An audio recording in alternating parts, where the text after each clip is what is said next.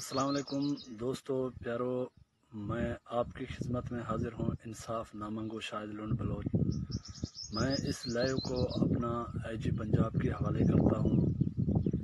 तो आज छः सुबह, यानी, पंद्रह तारीख है छः बज के दस मिनट के करीब टाइम है। तो तकरीबन आधे घंटे से चार चैन लेके पुलिस कुछ, अपना गाड़ियाँ लेके कबीला लुंड के घरों की चारों तरफ़ जो पक्के की तरफ़ बैठे हुए हैं, जो गरीब हैं, शरीफ शहरी हैं, अमनपुर हैं तो उनके ऊपर कोई भी एफआईआर नहीं है। वो पागलों की तरह पुलिस उनको भगा भी रहा है और फायरिंग भी कर रहा है। तो फायरिंग की आवाज़ शायद इस लाइव के अंदर ना पहुँच सके, लेकिन हमारे कानों को फायरिंग सुनाई दे रहा है।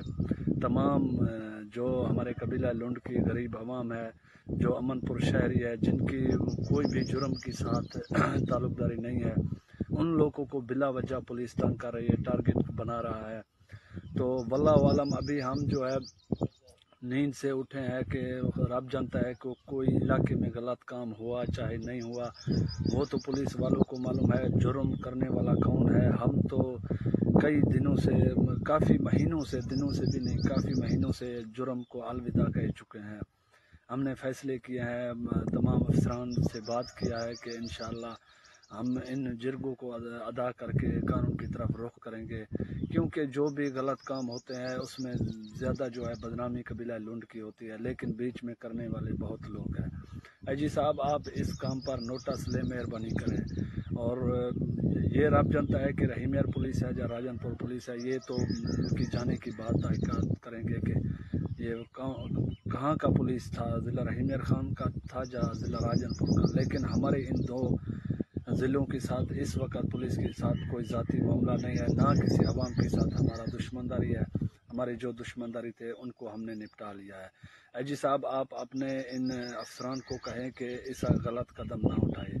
और ये इसी तरह बेगुनाह लोगों पर कदम उठाएँगे, उनको टारगेट बनाएँगे, तंग करेंगे। तो इसका ज़ाहिर मतलब है, फिर हमें भी मजबूरन आवाम को बांधना पड़ेगा, पुलिस की कई पिकटों पर, डालों पर, गाड़ियों पर हमला करना पड़ेगा, क्योंकि हमें तो वो छुड़ाने पड़ते हैं ना। वो हमारी वजह से उठाए जाते हैं। हमारे ऊपर जो एफ़ आई आर दुश्मनदारी वाले थे, उनका तो हमने फैसले भी कर कर दिए हैं। कोई भी हमारे पीछे ऐसा मुद्दा ही नहीं है जो और पुलिस के पास चल के आए, जाकर इनको पकड़ो, जा इनको मारो, जा इसी तरह का, यानी तशद करो। हमारा, हमारे पीछे कोई भी ऐसा मुदई मैन नहीं है, क्योंकि हमने सबके साथ तो फैसले कर दिए हैं। लेकिन ये, आरपीओ, डीजी खान, डीपीओ, अपना, ज़िला राजनपुर जीएसपी रुझान से भी गुजारिश है। इधर दूसरी तरफ़ जो है, भावलपुर, आरपीओ और डीपीओ रहीमियर खान और डीएसपी सादकाबाद इन अला अफसरान से गुजारिश है कि आप मेहरबानी करें कि ऐसे गलत काम के खिलाफ अपने अफसरान को लगाम दे। नहीं तो फिर आप जानते हैं, हमें लगाम अच्छी तरीके आता है। तो ये तो अल्लाह गवाह है कि हम कोई झूठ नहीं कह रहे हैं, क्योंकि आप लोग जब भी मजबूर करते हो तो फिर ज़ाहिर सी बात है तो फिर हमारे हाथों से तो कोई भी जुर्म हो सकता है। लेकिन पहले हम आप तमाम सहाफ़ी हजरात को, मीडिया हजरात को, क्योंकि बाद में ये अभी भी फायरिंग की आवाज़ मेरे ख्याल में आपके मोबाइल के अंदर भी आता होगा। लेकिन फिर ये सहाफ़ी, ये मीडिया वाले तमाम लोग कहेंगे, अभी लूट गए, का वार्निंग आ गया है, ये कर रहे हैं, फिला कर रहे हैं, ढींग कर फिर सब खामोश रहे हैं। अगर आज खामोश रहोगे तो फिर जुर्म करने वाले दिन भी खामोश रहो। वो खुदा की कसम है, इस जुर्म के पीछे हमारा कोई भी हाथ नहीं है, ना हमें मालूम है कि जुर्म क्या हुआ है। मेहरबानी दोस्तों, जियो फायरिंग, मेरे ख्याल में आपकी कानों तक भी आवाज़ आ रहा है। शुक्रिया, आबाद रहो, जियो, सलामत रहो।